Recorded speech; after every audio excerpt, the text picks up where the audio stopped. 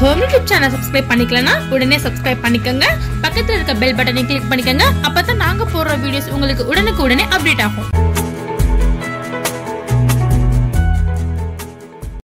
Viewers வணக்கம். நம்ம மூணு கிலோ சிக்கன் ஃப்ரை பார்க்க போகிறோம் மூணு கிலோ சிக்கன் ஃப்ரைக்கு என்னென்ன பொருட்கள் வேணும் எப்படி செய்யலாம் ரொம்ப சுவையாக இருக்கும் அப்படிங்கிறது சொல்ல போகிறேன் இதுக்கு வந்து இஞ்சி பூண்டு பேஸ்ட் வேணும். அதுக்கப்புறம் வந்து வினிகர் வேணும் ஆப்பிள் சைடர் வினிகர் வேணும். அப்புறம் எலுமிச்சை சாறு வேணும். அப்புறம் சில்லி பவுடர் நூற்றி ஐம்பது கிராம் வேணும். முட்டை ஆறு வேணும். இதெல்லாம் வந்து மூணு கிலோ சிக்கனுக்கு நான் சொல்கிறேன் ஒரு பாத்திரத்தில் நீங்கள் என்ன பண்ணுறீங்கன்னா இஞ்சி பூண்டு பேஸ்ட் வந்து எவ்வளோ பண்ணுறீங்கன்னா நூற்று அதாவது ஒரு நூறு கிராம் இஞ்சி நூறு கிராம் பூண்டை வந்து நல்லா பேஸ்ட் பண்ணி போட்டுக்கோங்க. அதோட ஆப்பிள் சைடர் வினிகர் இருக்குது பார்த்தீங்களா அது வந்து ஒரு மூணு மூணு கிலோ சிக்கன் அப்படிங்கும் போது அது வந்து ஒரு நானூறு நானூறு கிராம் கிட்ட வந்து ஊற்றிக்கோங்க முட்டை ஆற வந்து போட்டுக்கோங்க. அதோட வந்துட்டு மிளகாய்த்தூள் சில்லி பவுடர் நூற்றம்பது கிராம் சேர்த்துருங்க. அப்புறம் வந்து ரெட் கலர் கேசரி பவுடர் அதாவது கேசரி பவுடர் போட்டால் சிக்கன் வந்து ரொம்ப டார்க்காக நல்லா சூப்பராக இருக்கும். அது வந்து ஒரு அஞ்சு பேக்கெட் வந்து போட்டுக்கோங்க. இது வந்து கேசரி பவுடர் நான் போடுறேன். அப்புறம் எலுமிச்சை சாறு.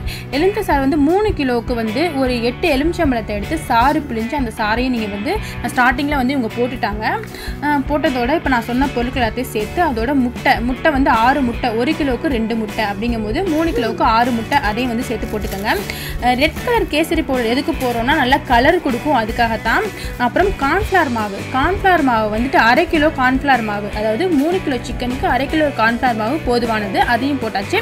இஞ்சி பூண்டு பேஸ்ட் வந்து இஞ்சி நூறு கிராம் பூண்டு நூறு கிராம் வந்து பேஸ்ட் பண்ணி அதையும் போட்டுக்கணும். இப்போ நான் சொல்ல ஐட்டம்லாம் வந்துட்டு மூணு கிலோ சிக்கனுக்கு அப்புறம் உப்பு சால்ட் வந்து தேவைக்கேற்ப அதாவது மூணு கிலோ மூணு கிலோ சிக்கன் அப்புறம் நூற்றி ஐம்பது கிராம் சால்ட் போடலாம். ஒரு கிலோவுக்கு ஐம்பது கிராம் போடலாம். அதுக்கப்புறம் தயிர். தயிரும் வந்துட்டு ஒரு நூறு கிராம் தயிர் சேர்த்துக்கோங்க. இப்போ எல்லாத்தையும் சேர்த்து நல்லா கையால் நல்லா மிக்ஸ் பண்ணிவிடுங்க கார்ன்ஃப்ளவர் மாவு வந்துட்டு அரை கிலோ.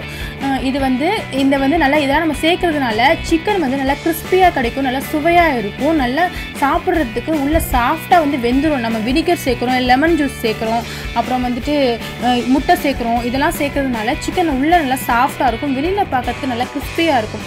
ஸோ பெரிய பெரிய ஃபங்க்ஷன்ஸ்லாம் இது மாதிரி செஞ்சால் ரொம்ப சூப்பராக இருக்கும். இது வந்து அதாவது பிரியாணி மாஸ்டர் அதாவது மாஸ்டர் வந்து செய்கிற ஸ்டைலில் தான் நான் சொல்லியிருக்கேன். குக்கிங் மாஸ்டர் அவங்க செய்கிற ஸ்டைலில் தான் அவங்க செய்கிறது தான் நான் வீடியோ எடுத்து நான் இப்போ போஸ்ட் பண்ணுறேன் உங்களுக்கு.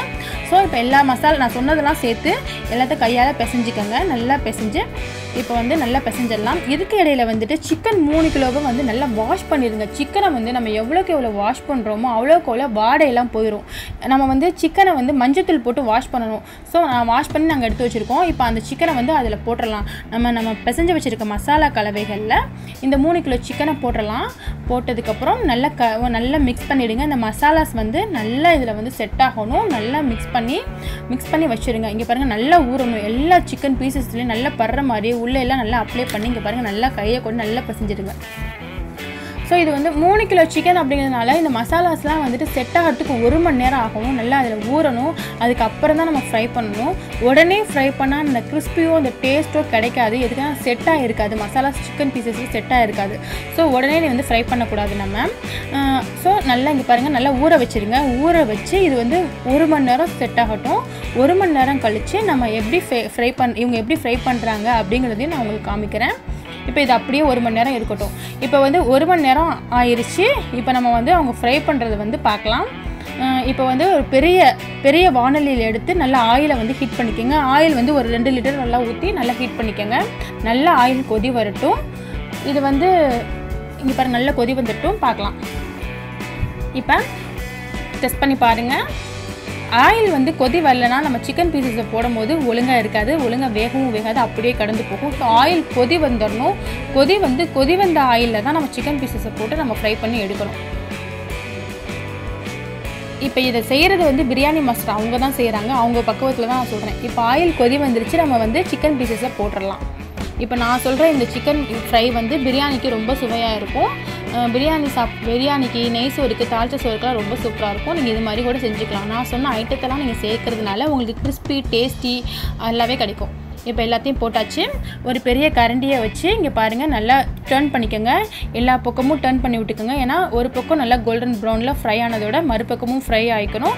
போட்ட நிமிஷமே எடுக்கக்கூடாது. ஏன்னா உள்ளே வெந்திருக்காது. ஸோ நல்லா திருப்பி விட்டு திருப்பி விட்டு வேக வச்சாதான் நல்லா உள்ளேயும் ஃப்ரை ஆகும். சாப் எல்லா பக்கமும் ஃப்ரை ஆனால் தான் சாப்பிடவும் முடியும். நமக்கு டேஸ்ட்டும் கிடைக்கும். சிக்கனை வாஷ் பண்ணுறது ரொம்ப முக்கியம். வாஷ் பண்ணும்போது நல்ல மஞ்சத்தூள் போட்டு வாஷ் பண்ணிடுங்க. அப்போ தான் கவுச்சி வாடையெல்லாம் இருக்காது. இப்போ பாருங்கள் இவங்க நல்லா ஃப்ரை பண்ணுறாங்க இவங்க வந்து நிறைய சிக்கன் செய்ய போடுறதுனால இவங்க வந்து பெரிய க அதாவது பெரிய இதை வச்சு பெரிய கரண்டி வச்சு நல்லா கிண்டிக்கி ஃப்ரை பண்ணிக்கிட்டே இருக்காங்க. இப்போ வந்து ஃப்ரை பண்ணியாச்சு நமக்கு எடுத்தாச்சு. நல்லா இங்கே பாருங்கள் கோல்டன் ப்ரௌனில் கிறிஸ்பியாக சூப்பரான சுவையான சிக்கன் ஃப்ரை ரெடி ஆயிடுச்சு எடுத்துட்டாங்க. இந்த ஸ்டே நான் சொன்ன அளவெல்லாம் போட்டு இவங்க என்னென்ன பொருட்கள் போட்டாங்களோ நான் அதெல்லாம் ஆரம்பத்தில் சொன்னேன். அதெல்லாம் போட்டு நீங்களும் இது மாதிரி நீங்கள் செஞ்சீங்கன்னா உங்களுக்கு சூப்பரான சுவையான சிக்கன் ஃப்ரை கிடைக்கும். இது பிரியாணிக்கு மற்ற நெய் சோறு தாழ்ச்ச சோறு வெஜிடபிள் பிரியாணி எல்லாத்துக்குமே டேஸ்ட்டாக இருக்கும். நீங்களும் செஞ்சு பாருங்கள் பெருங்கொண்ட விசேஷங்களுக்கு இது மாதிரி இந்த டேஸ்ட்டில் உங்களுக்கு வேணும் அப்படின்னா நீங்கள் செய்யுங்க. உங்களுக்கு சூப்பராக கிடைக்கும். இந்த வீடியோ பிடிச்சிருந்தா நம்ம சேனலுக்கு சப்ஸ்கிரைப் பண்ணுங்கள் தேங்க்யூ